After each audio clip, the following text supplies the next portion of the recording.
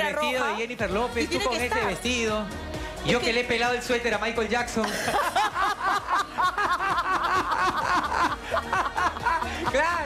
Hola, ¿qué tal? Bienvenidos al canal y hoy en Farándula y Espectáculos, ¿qué creen? María Pía Copelo hace sorpresivo ingreso al set de entrevista con el icónico vestido de J-Lo. Y es que la conductora de televisión ingresó al set donde se encontraban Magali Medina y Rodrigo González en plena entrevista. Peluchín y Magali se mostraron muy contentos con su presencia, pues la entrevista de Rodrigo González y Magali Medina estuvo llena de sorpresas. La primera de la noche fue el ingreso de María Pía, quien volvió a lucir el mismo vestido icónico de Jennifer López. Su ingreso se produjo cuando los conductores de televisión se refirieron al look que lució en los premios Lo Nuestro. Magali Medina y Rodrigo González se mostraron felices de contar con la presencia de María Pía. Por su parte, la ex conductora de Esto es Guerra indicó que estaba contenta de que se amistaran porque sufría mucho porque no podía reunirse con ambos. María Pía contó que al ver el Versace que Jennifer López lució en los premios Grammy del 2000, sintió que el vestido estaba ahí para ella y que a diferencia de la diva del Bronx, no tuvo que usar tapes adhesivos para que nada se saliera de su lugar. Como se recuerda, la conductora anunció que fue invitada por Univision para formar parte de los premios Lo Nuestro en su cuenta de Instagram.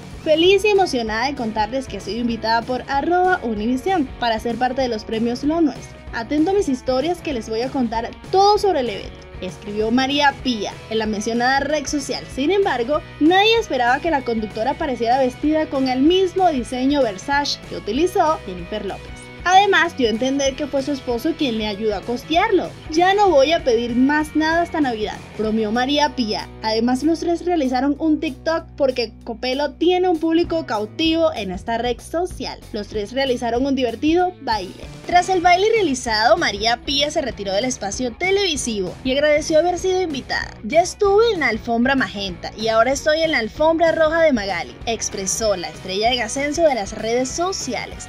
La entrevista de Rodrigo González y Magali Medina viene siendo sintonizada por miles de personas. Los conductores de televisión han tocado tres temas picantes hasta el momento. La relación de Jefferson Farfán con Peluchín, la ruptura de la amistad entre González y Tilsa Lozano y también sobre Yajaira Plasencia, a quien destruyeron por usar unos singulares zapatos en la edición 32 de los premios Lo Nuestro.